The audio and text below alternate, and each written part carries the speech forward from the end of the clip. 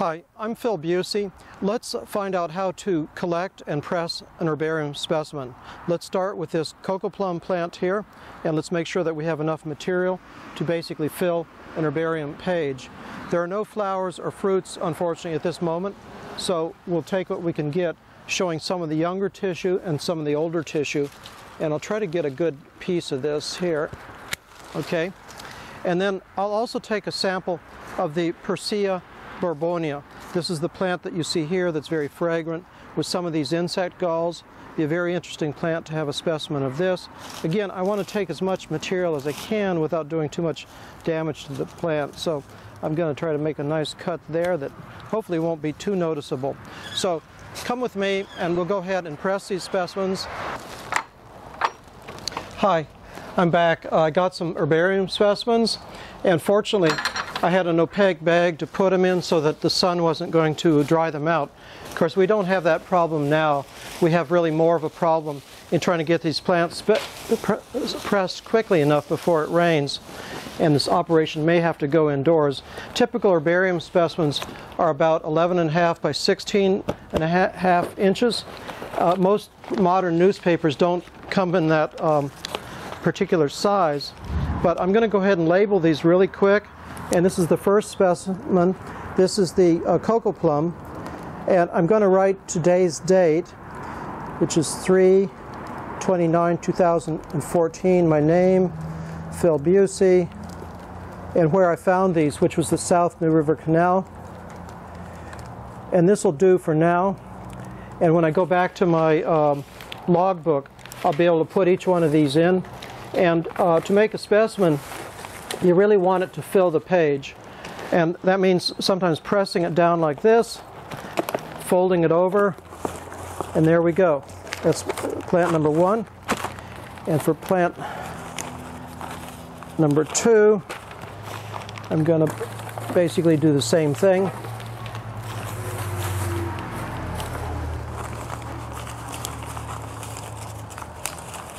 And uh, some of the leaves are going to be upright, some are going to be down.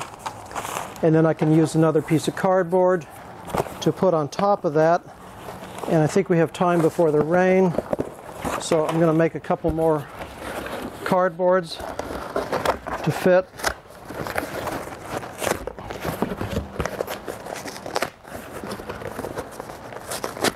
Not exactly fancy, but it'll do.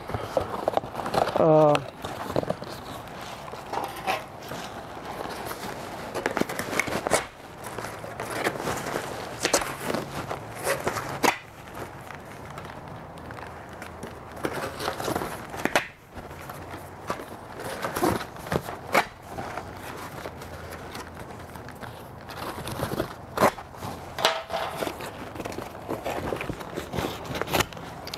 Okay, we kind of make a stack like that. Get some more newspapers. Don't forget to write down what you're doing. And uh, again, this was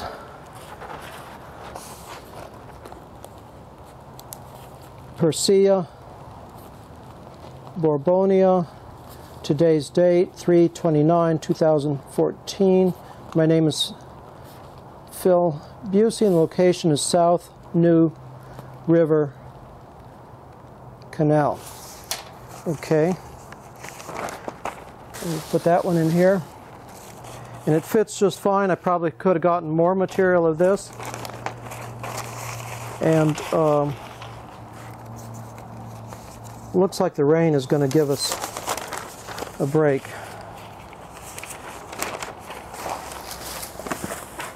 And here, this cocoa plum, we've got a little bit more material. After we get these dried out, we'll get, get it straightened out what goes where. And um, there, I've got a little stack. And we'll take this inside, and I'm going to put some books on top of it. Maybe set up a fan, let those um, corrugations transmit the air to help dry out the stack. Hello again. Let's see how those herbarium specimens turned out.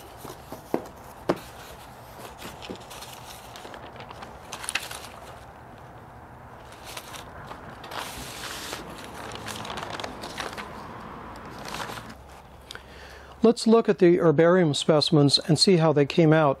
Let me first remind you that any good collector maintains a record book, which is a log of the collections that were obtained, and this will be a central reference if there's ever any question. For example, the specimens that were collected the other day are numbered sequentially by my numerical system 2528, 2529 with descriptive and location information and the date of collection. This information will appear on the herbarium specimen labels.